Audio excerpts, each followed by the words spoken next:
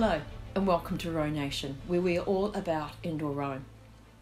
Indoor rowing is the rowing machine you have at home or use at the gym, and every time you row, you're an indoor rower and one of 4.4 million other Australians rowing.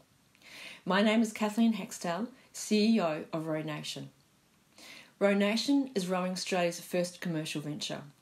With the full support of the Rowing Australia board, Row Nation has been set up as a separate entity to drive the digitisation of indoor rowing in a move towards an e-sport offering. Driving an innovation and technology capability within Australian rowing is critical for the future of the sport. So think of us as a Strava or Peloton of rowing. Our team represents the Rowing Australia board, senior management, and staff with a combined rowing experience of over 50 years from running events and challenges to an MBA looking at the commercialisation of indoor rowing. Our attitude is our strength, and there is no better team to deliver a solution and unite a community within Australia or internationally. We know this space, we understand the problem, and we know the solution we've created. So we get it.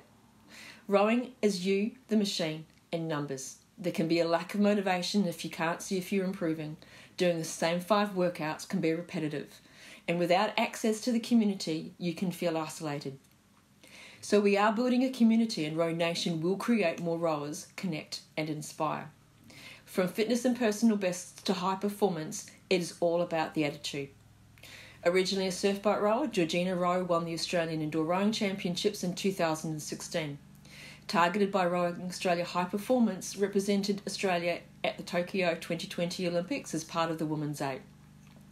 Ben Farinazzo used the healing power of sport at the 2018 Invictus Games and as part of his journey back from PTSD and spinal injuries. Jackie Reese, mother of two, started indoor rowing after one of our challenges. She's aiming to beat her PB and wants to compare her results and row with others. We want rowers to access the community who are cheering from the sidelines there to challenge and motivate. Market research has given us a target of 4.4 million people indoor rowing in Australia. At Row Nation, we're initially targeting the 41,000 registered rowers before moving wider to the digital fitness market in Australia and internationally. We've created an app addressing the pain points we know our rowing community are trying to address. Some of the unique features include select a workout, a Row Nation workout, one of your favourite workouts, or just row. Set your targets for the workout based on your prior results for that workout track to target in real time as you row. Save and access your workout to track your progress, compare with others in your group, our community, via your fitness app or social media.